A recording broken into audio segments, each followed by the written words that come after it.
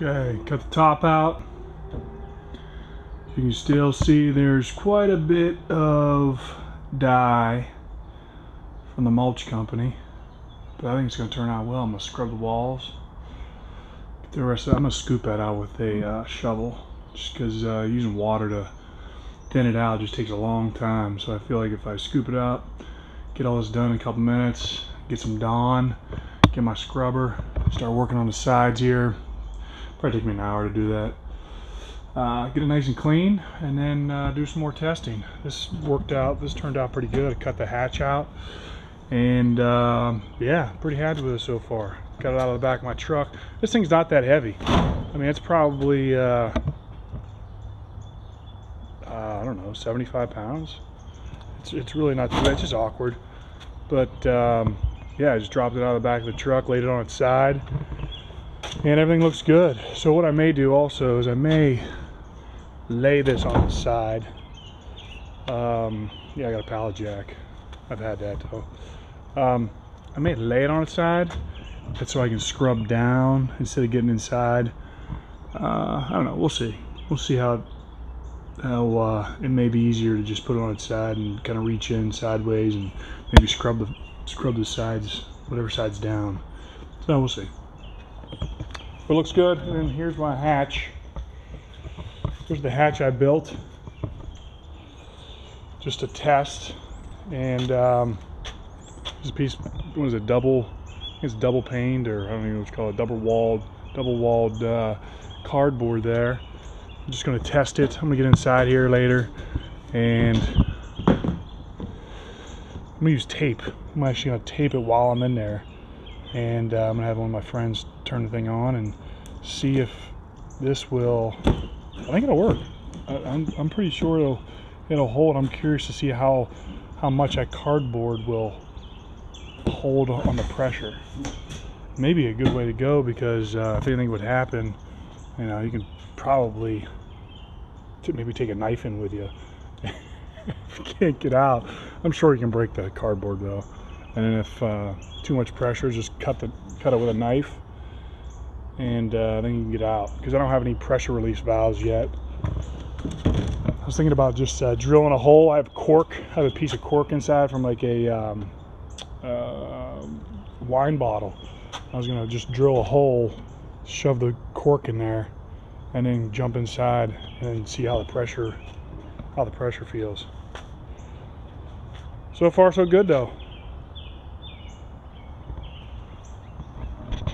To be continued.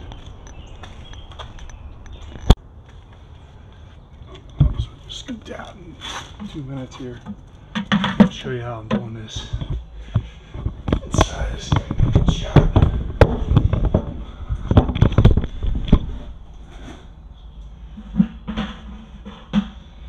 stuff is stains pretty well, but it washes off really well too.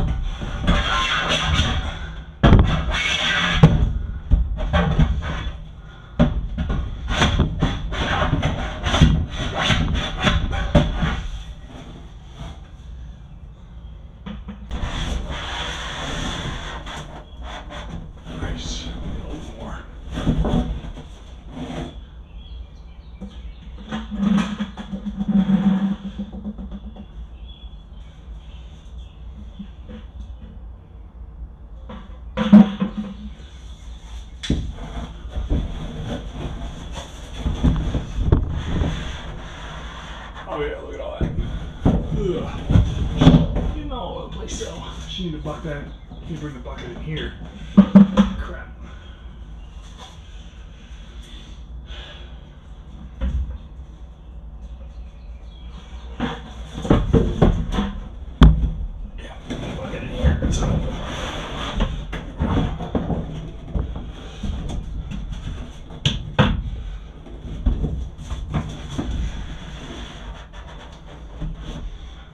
Stuff kind of reminds me of maybe like what oil looks like when it comes out of the ground. I don't know. It's it's, it's uh, but it's just dye.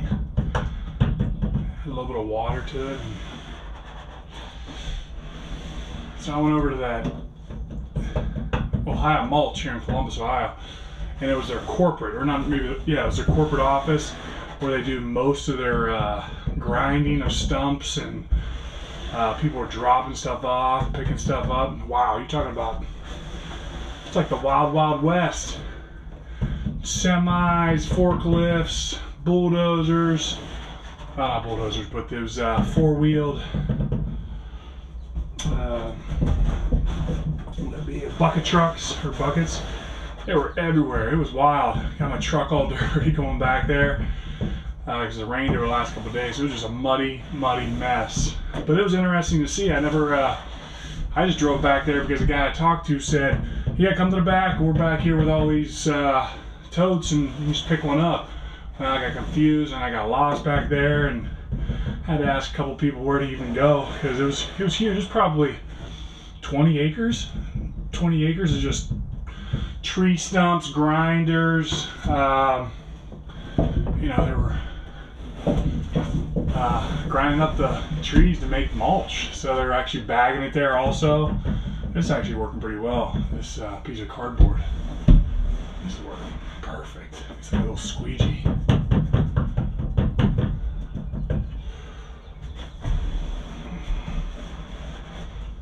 Yeah,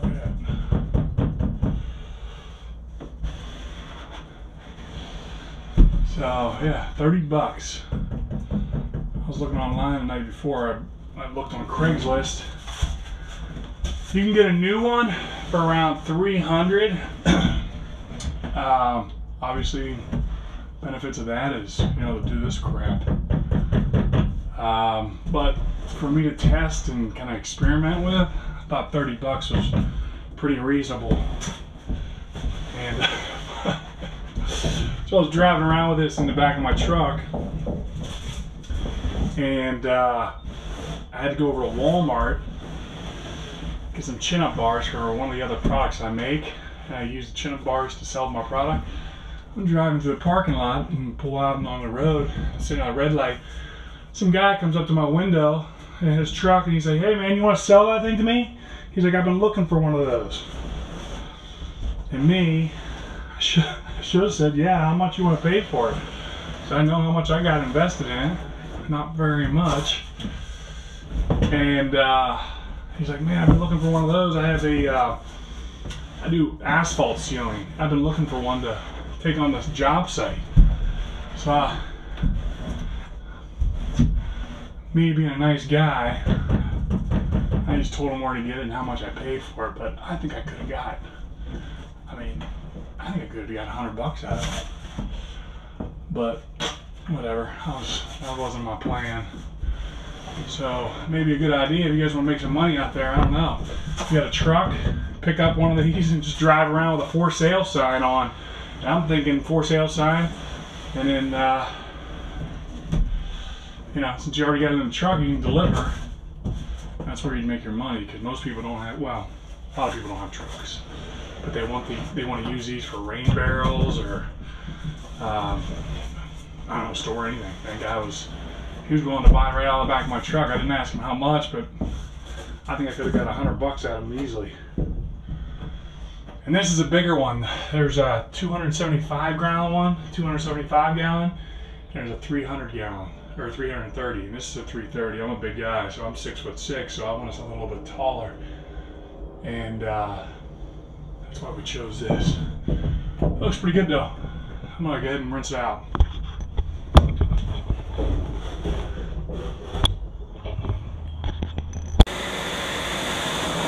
Been pretty clean.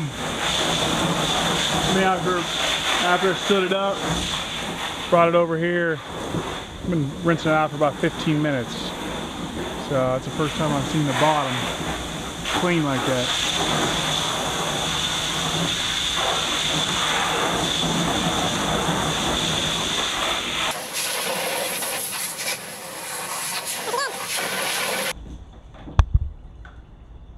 Like I said, about 15 minutes after I scooped all of it out, this is what we got. Little remnants.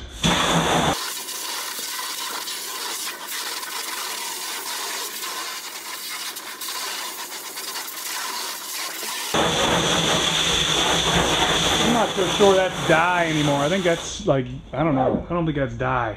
And maybe just some dirt. Um, I'm not real sure, but you can see how clear the water is. And um, that stuff's just, I'm not sure what it is. But yeah, looks good. We're gonna get jump inside here, scrub it down. And uh, hopefully it won't take too much elbow grease and we can get uh, the walls to look like this floor. So a little bit of Dawn, water, and elbow grease. And this, this brush.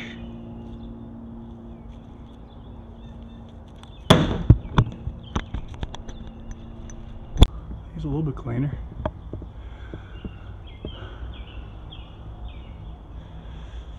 Try from this way. I'll stand up on a ladder. Don't use a ladder, just lay the container on its side. Try and flush all the rest of this down. Should probably get the rooftop first, but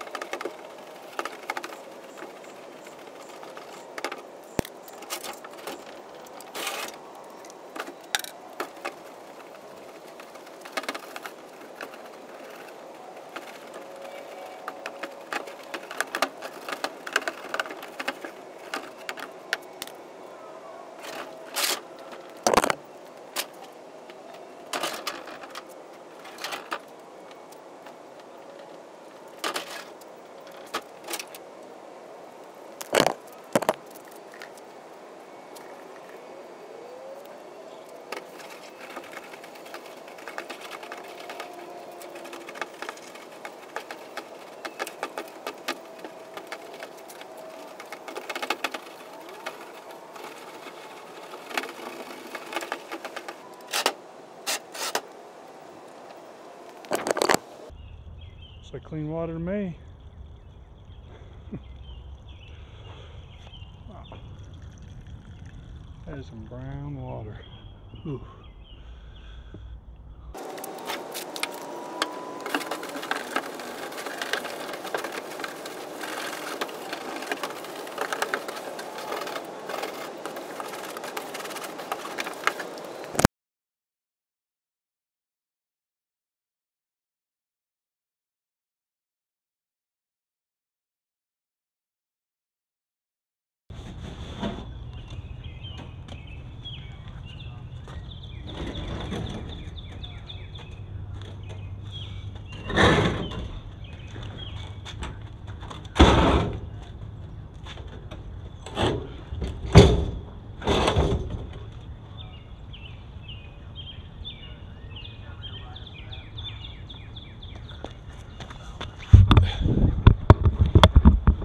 There.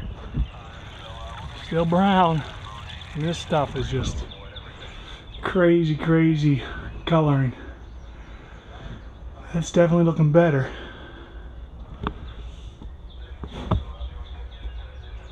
Comet. That's what I started using. Comet, now using a Brillo pad. Seems to be working pretty good. Yeah. Cool. Getting a little dirty. It's a dirty job. Look at the water. It's looking better. Still got some work, but the water looks good.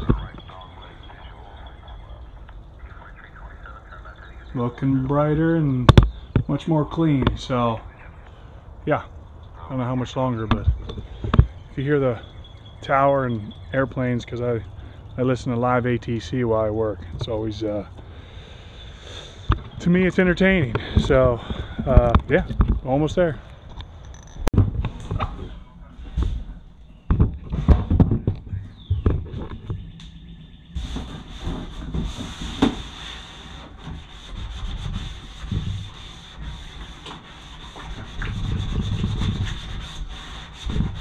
Yeah. So switched over to borax. I ran out of Comet. So Didn't think it was gonna work as well. I use borax to wash my hands inside. I have a powder soap dispenser. Love it. So I ran a Comet, trying borax. It's pretty good. Tell you what though, uh, when I was using Comet, didn't really notice the fumes while you're in here because I guess Comet's just a powder bleach. This borax, wow, burns your nose. So I use a little less, seems to be a little better. But pretty impressed with it. It's supposed to be a natural cleaner, so I'm all about natural. And uh, I want to be as safe as possible with any fumes in here or uh, so pretty impressed with borax.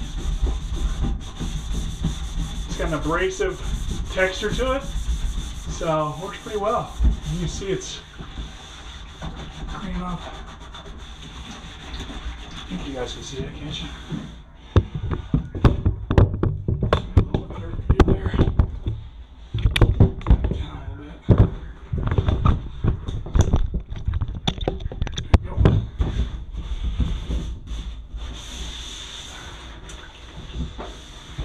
I'm just leaning on it a little bit it's coming undone.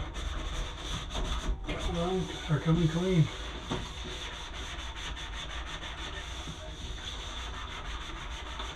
So I think this cleaning method is best. Maybe get use brushes for the heavy stuff first, and then come back and get it with a scotch pad or Brillo pad or whatever you want to call it. This is working great though. It's hot. I'm sweating. 10, it's 10.15 in the morning. Started about 7.30. So I've got a good, man, probably three hours of you know, trying different things and this seems to be working pretty good.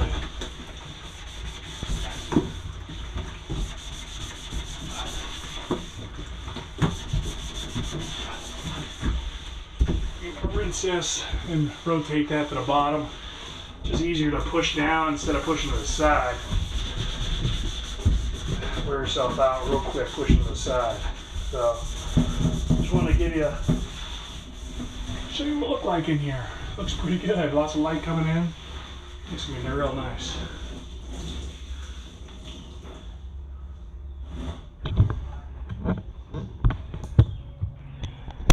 So that's the end of the uh, cleaning part. I'll probably spend another half hour there just finalizing, making sure that most of the uh, dye was gone. But uh, all in all, I think it took about three hours, maybe three and a half hours to get that thing clean. And uh, again, it's not perfectly clean, but it's um, it's good enough for the next step, which is uh, me jumping inside and testing it. So check out part three.